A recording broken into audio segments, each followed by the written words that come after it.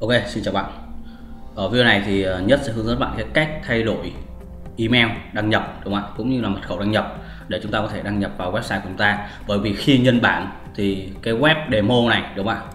Cái web demo này nó sẽ được nhân bản tất tật tật từ user mật khẩu nên thành ra là chúng ta cần phải đổi lại và cái cách đổi như sau đúng không ạ? Thì các bạn truy cập vào trang cPanel. Các bạn truy cập vào trang cPanel của Hot Armada đúng không ạ? Rồi, các bạn click vào cái trang chủ này và các bạn kéo xuống cái phần PHP MyAdmin đúng không ạ?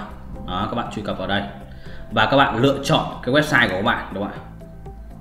Các bạn lựa chọn website của các bạn. Ở đây thì nhất đã uh, tạo một cái web mới đó với uh, tên gọi là demo 3 này đúng không ạ? Thì các bạn click vào cái web đó cái web của các bạn click vào. Nó sẽ xuất hiện như thế này đúng không ạ? Thì cái công việc đầu tiên của chúng ta đúng không ạ? Công việc đầu tiên của chúng ta là chúng ta click vô cái file option này, đúng không ạ? Cái file option này. Đó, và chúng chúng ta thay đổi lại cái admin email này, đúng không ạ? Bằng cách là click vào sửa. Đó, đúng không ạ? Click vào sửa. Nhớ sẽ làm lại này.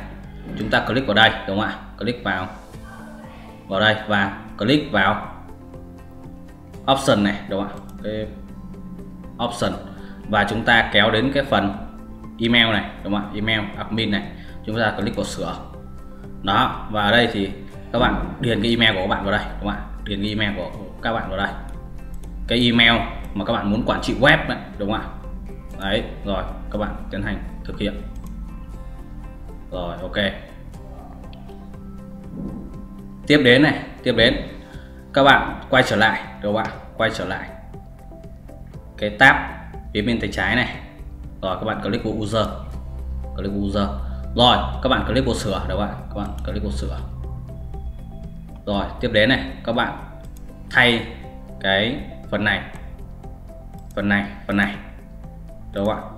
Thay cái phần này phần này và phần này là cái email của các bạn. Đúng không ạ? Email của các bạn. Đó, ở đây là hai em đào sớm nhất là cầu của gmail.com đó đó. Đúng không ạ? Thì bây giờ nhất sẽ lấy một cái email khác, đúng không ạ? Lấy một cái email khác đổi cho các bạn xem, đúng không ạ?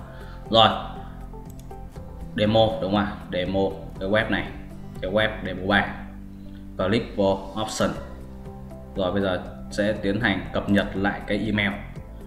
Ở đây nhất sẽ cập nhật lại cái email này, email quản trị này, đúng không ạ?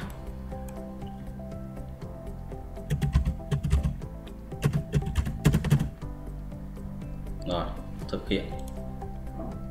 Rồi, tiếp đến click vô cái user đúng không ạ? User. Click vào sửa. Rồi chúng ta sẽ lần lượt thay đổi cái thông tin ở đây. Đó đây cái email của các bạn. Một đúng không ạ? Rồi tiếp đến. Các bạn lưu ý nhé cái phần gmail ờ, uh, secom này các bạn để im các bạn chỉ thay đổi cái phần tên thôi. Đó, nó phải có định dạng như này đúng không ạ? Rồi, tiếp đến, cái phần này cũng tương tự. Rồi, các bạn click thực hiện, đúng không ạ? Click thực hiện. Rồi, như vậy là xong, đúng không ạ? Rồi, bây giờ nhất sẽ thử đăng nhập, đúng không ạ?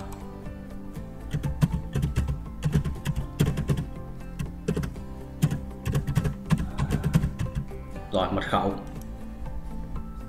Rồi, phần mật khẩu thì các bạn sẽ đổi như sau, đúng không ạ? Mật khẩu các bạn sẽ đổi như sau. Các bạn quay trở lại trang cPanel lúc nãy các bạn cái trang PHP admin này.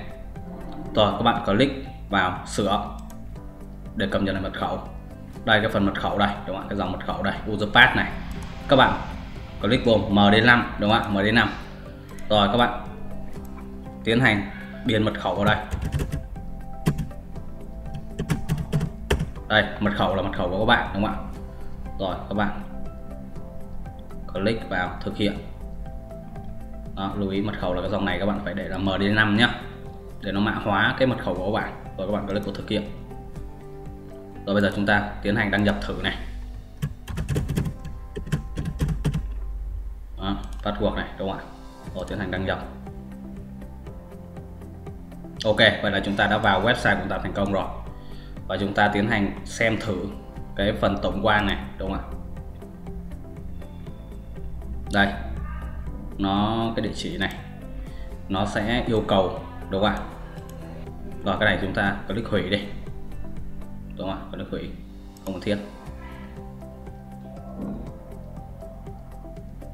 Đó. đây, các bạn nhấn hủy nhé rồi presenter.com tất cả mọi thông tin đã được thay đổi. Ok, xin chào và hẹn gặp lại các bạn. Chúc các bạn thành công.